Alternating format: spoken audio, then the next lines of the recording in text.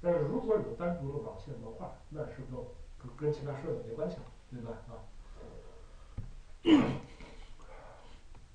啊，常见的主板品牌，这个不说。我们下一张幻灯片详细的简单说一下这些的参数，好吧？啊，那么这个东西都是什么？看烧了，OK。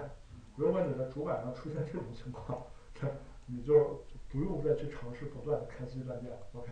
还有我说，电脑有问题了，关一下机重启一下就很有效啊。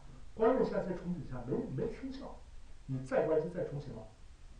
啊？有些人就不死心，我我非要再来一下，行，你开两次我也认，你再开你重新什么想法？你觉得那是你家电灯吗？我为啥说这个？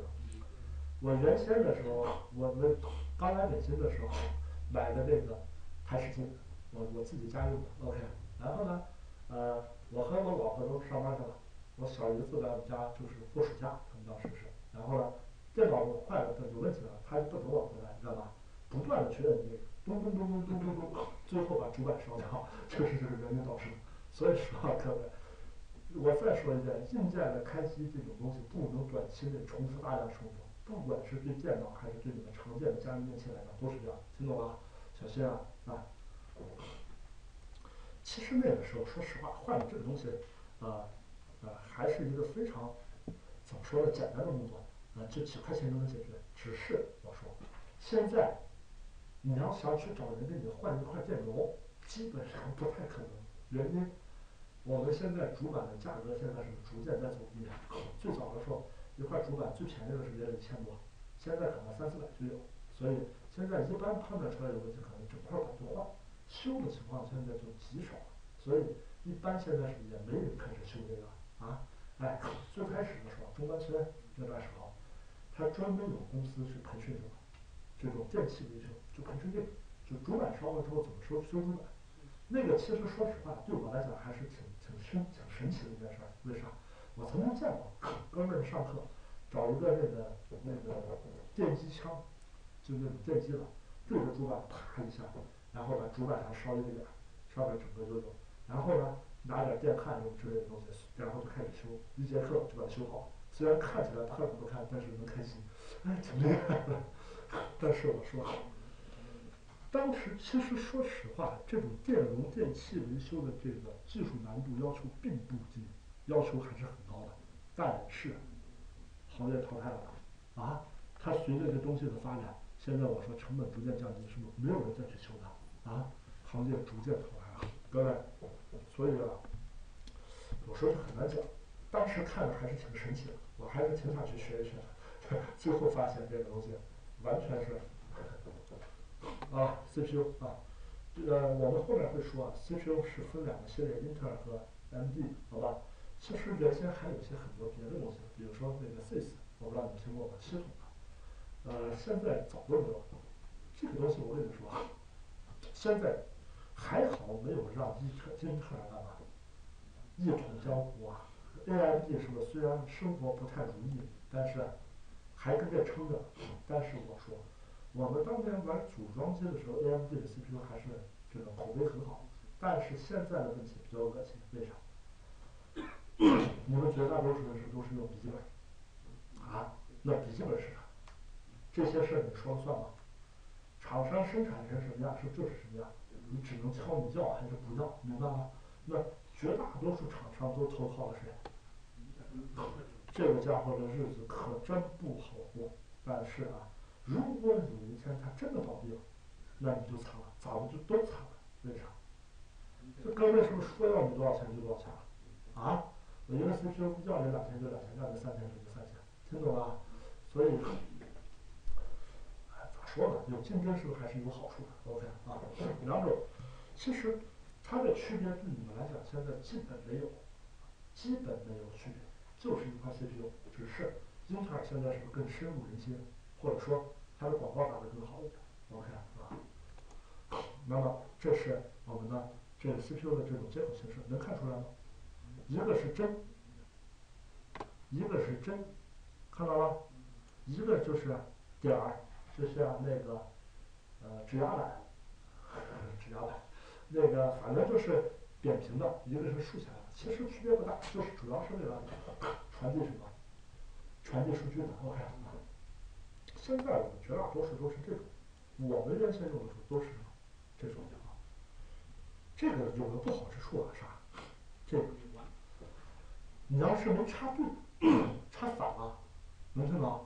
看，它这块有一个角呢，你看到吗？看到了，目的是为了让你不要插反，OK。但是如果我说实话，这种东西总会有人犯神经病。我跟你说，我们就曾经见过，为什么现在尽量推荐你们不要去乱插这东西？我们原先就有学员，就有学员，给他找台台式机，让他插一下 CPU，OK，这哥们就硬往反里插。按理说往反插是不是插空卷？啊，这哥们儿呢，死命往里怼，怼完之后，针脚本来是这样，然后被他插完之后变成这样。这个东西掰回来都不起作用了，我告诉你，听到了，废了啊！所以这个现在是不是还是好一点？最起码不会出现溢价问题。OK，好了，风扇没啥说了。对了，呀，我我我今天我下班我去我如果下楼了，咱们能上网的话，我给你们找一张图片，为啥？有哥们儿曾经这是什么？我们最常见的风冷，没错吧？我们靠风扇是不是来做？但是风冷这东西，你想啊，你烧了一杯开水，然后呢找个扇子不停的扇，实际上扇很长时间它才能凉下来，它的效率是比较低，那怎么办？现在又出现什么？这是就是水冷，干嘛？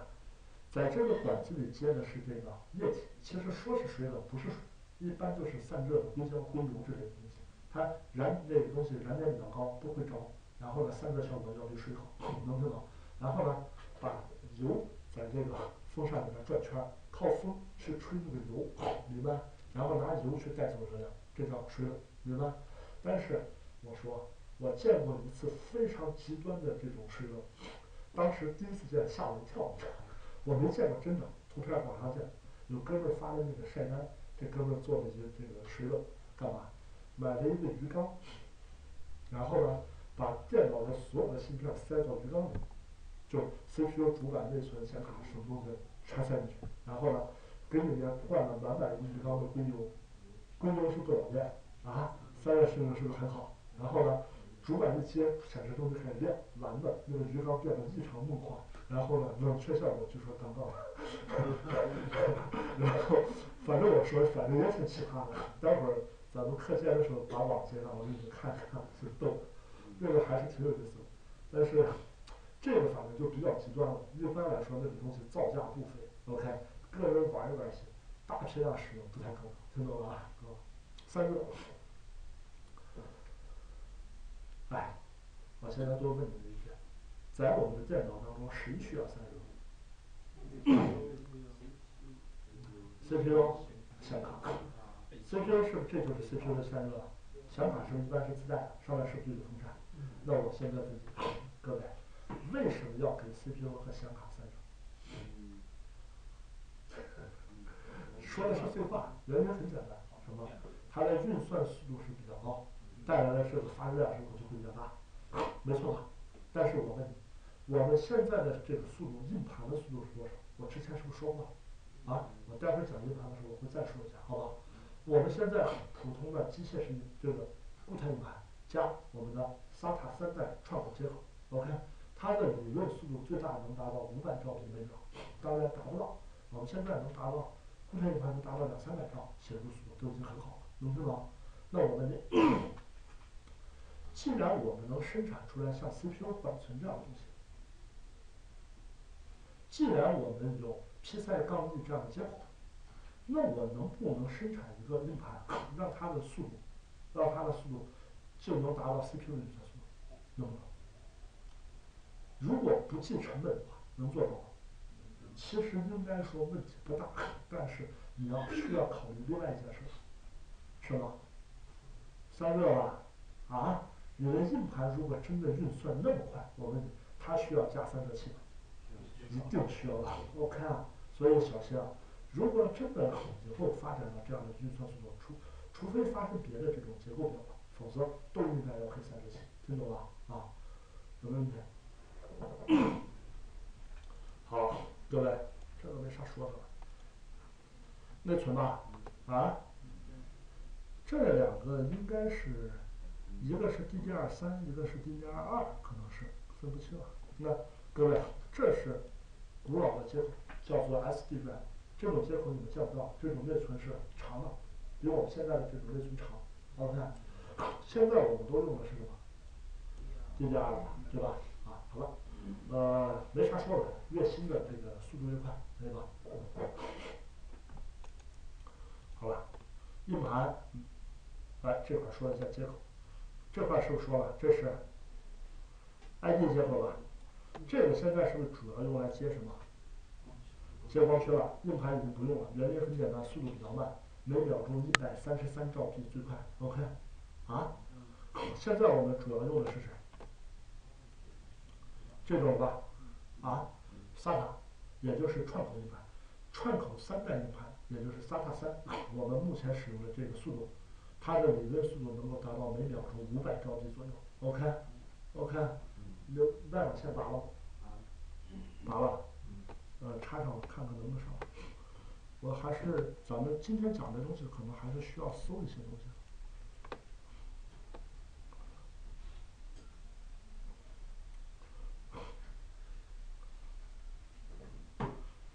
不知道我的账号被占用了没？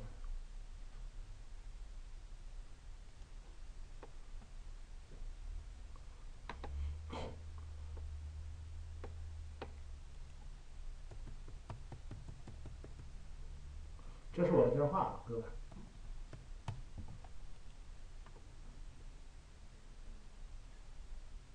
嗯？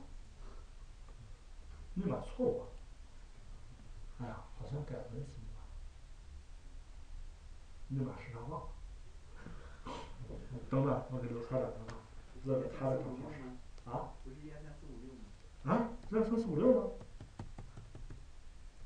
你知道吗？不是，他说那个附近服务器当过一次啊，然后他全部重置为一二三四五六了。好像还真是，上去了。我靠！我的密码怎么是二三四五六啊？不是那个那个机房的服务器死过一次了。好好好好，反正上来了，我们百度一下。哎，怎么搜百度地百度图图片啊？啊？嗯。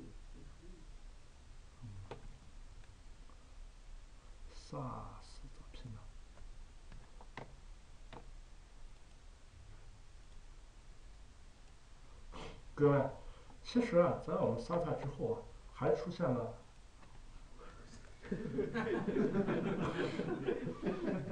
说一个这个，各位，在我们的这个呃这个这个 SATA 之后呢，我们还出现了另外一种 SAS 接口，其实它是我们 SATA 接口的一个演变，跟 SATA 其实没有太大区别。基本的接口速度跟 SATA 是一致的，OK，但是它的成本稍微低一点点，稍微便宜一点，OK，但是基本上在我们的个人电脑里，SAS 接口没有被广泛的这个使用，OK，我们现在主要还是 SATA 啊 SATA，但是在服务器上，你们看啊，你们班上的这些服务器，它的接口是 SAS 接口，当然有 SATA 口，我专门要了 SATA 口的和 SAS 口都有，听懂了？啊，好了，有没有问题？啊，区别还是什么？是不是就是接口？明白我说什么？啊，各位，呃，I P 口现在基本上对硬盘来讲淘汰了。你们现在不论是机械式还是这个移动硬盘，我们用的都是这种 SAS 接口，这个 SATA 接口，OK 啊。好了。这这接口我家老电脑也有。啊，这老电脑呢是这样的，呃，是这种机械式的。它的这个缺点就是速度，OK，哎，大概要知道，我一直在说，SATA 的速度是不是 IBM 的是一百三十三兆每秒，SAS 的话和 SATA 能够达到五百兆每秒，当然说的是理论值啊，现在真正使用达不到这个值，听懂了？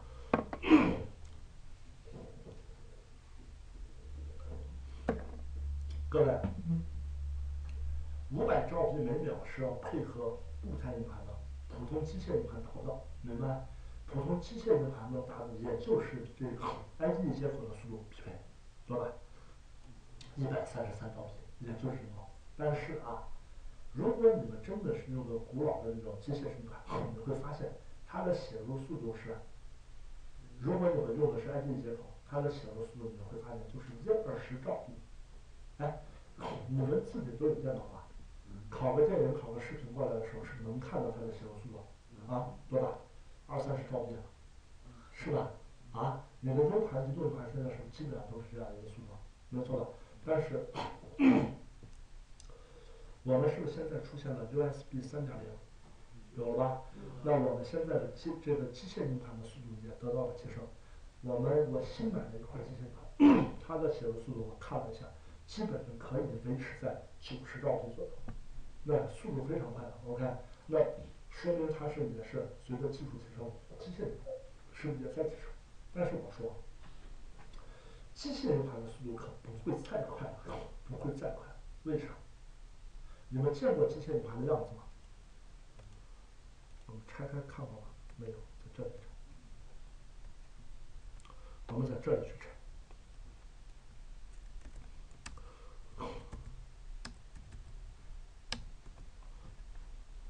我们来在这里拆，各位，这就是机械硬盘的样子，打开看一下。好家伙，看不清，凑合吧，好吧？啥？看到了吗？里面是一块碳钢碳钢合金的真实的这样一块盘，跟你们看的唱片机是一样的，明白？它会在里面干嘛？是转？我们是不是说硬盘有一个这个参数叫做每分钟？七千两百转速和五千四百转速，OK，那肯定是不是在里面转的速度越快，你往外读数据的时候是不是越快？啊，这是什么？磁头，各位，唱片机见过吗？那上面是有个头儿，它放在唱片上，它转之后才能读取数据。啊，这个也一样，只是啊，因为我们硬盘转速过高，这个磁头是什么？它没有接触到这上面，它是干嘛？悬空的，那这个时候我告诉你，机械硬盘就非常怕什么？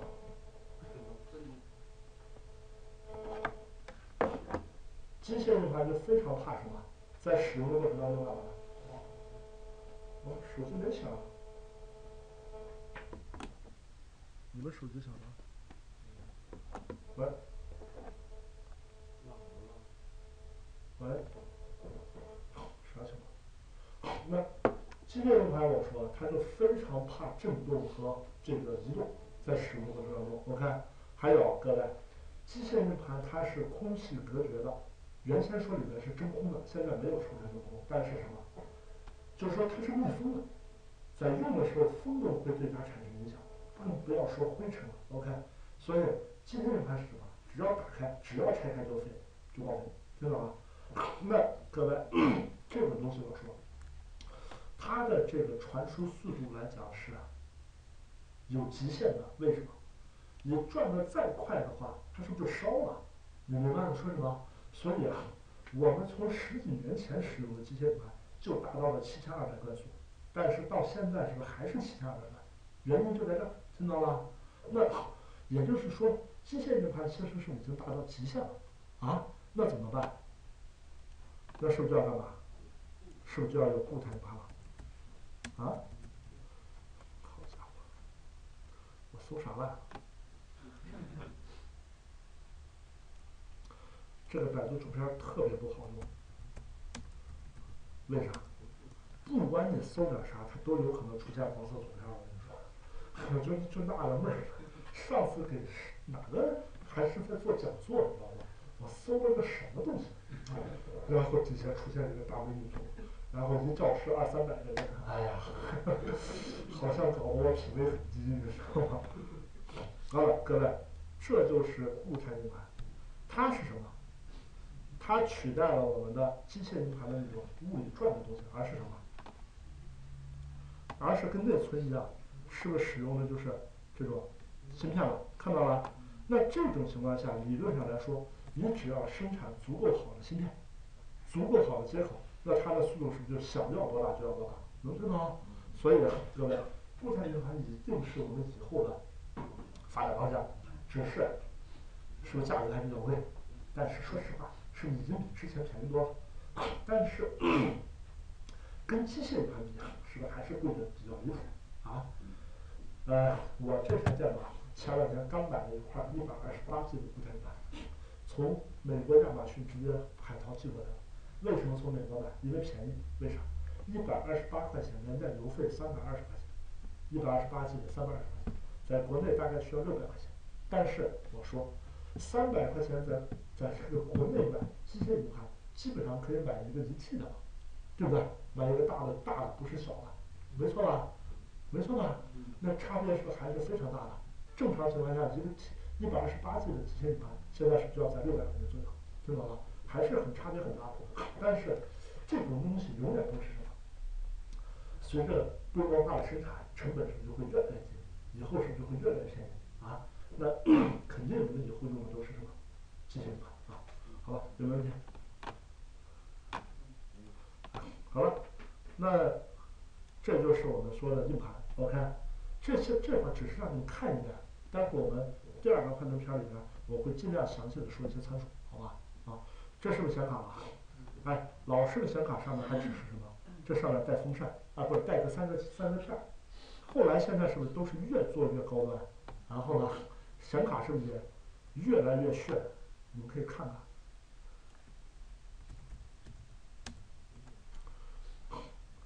显卡世界会做到越来越炫。